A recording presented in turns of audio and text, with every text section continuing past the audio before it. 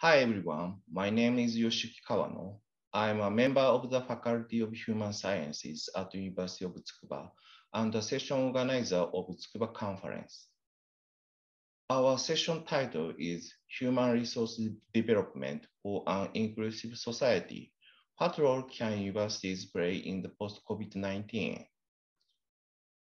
In the turbulent times with COVID-19, New leaders which are described in SDGs and Society 5 are needed to achieve an inclusive society.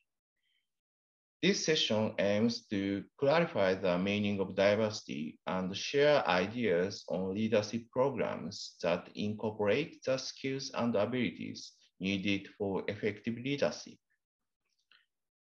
The session will invite cutting edge professionals in the field of diversity and inclusion leadership.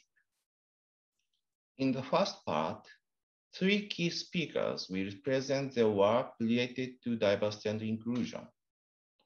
Firstly, I will give a presentation about the leadership program on diversity and inclusion in University of Tsukuba, especially focusing on our recurrent education program.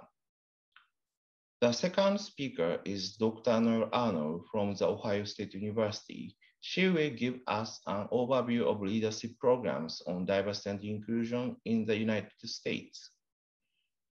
Ms. Megumi Umeda from IWA Japan is the last speaker. She will share one of the leadership programs on diversity and inclusion in business sectors in Japan. After the presentation, we will hold a panel discussion.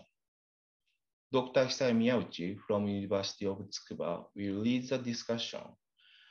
And Dr. Takahiro Sato from University of Tsukuba will join the discussion as panelist.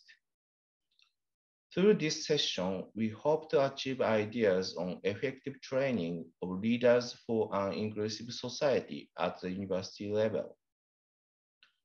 I truly hope that this session will be useful for all participants. Thank you.